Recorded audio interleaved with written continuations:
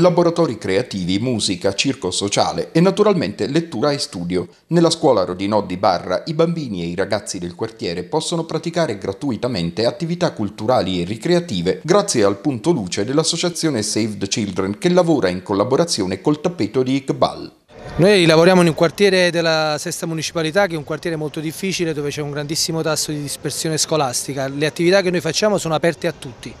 Noi riusciamo ad intercettare in un anno solare anche 200 bambini. Il primo obiettivo è quello proprio non solo di eh, contrastare la dispersione scolastica ma di avvicinare all'istituzione scolastica. Le attività principali che svolgiamo insieme al punto luce Save the Children sono accompagnamento allo studio, rafforzamento appunto di alcune problematiche scolastiche che hanno e poi facciamo attività che vanno dagli orti urbani fino a attività circensi, teatro, parkour, acrobatica aerea, eh, e balli e canti del sud, adesso stiamo facendo anche tammurriate, cioè qualsiasi cosa ci inventiamo che può essere utile ad agganciarli, a farli stare qui per più ore al giorno, lo facciamo.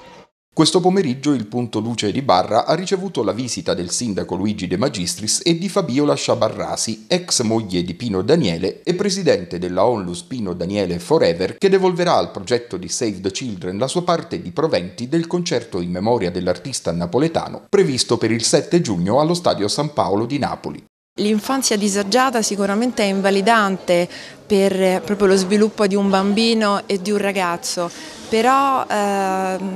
assolutamente dobbiamo mobilitarci affinché non sia negato questo diritto proprio a, all'istruzione e, e, comunque a una vita che, che, è giusto che un bambino dai 6 ai 16 anni, che è il target chiaramente dei punti luce, in qualche modo debba godere. In occasione del grandissimo concerto per Pino che ci sarà il 7 giugno allo Stadio San Paolo di Napoli, una parte del ricavato verrà dato ai punti luce che Save the Children eh,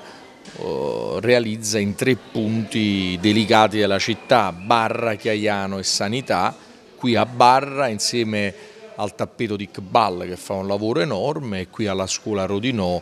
che è un punto di riferimento del quartiere e anche noi eh, abbiamo contribuito a mettere insieme eh, i vari punti protagonisti di questo messaggio assai significativo per i luoghi di maggiore sofferenza della città.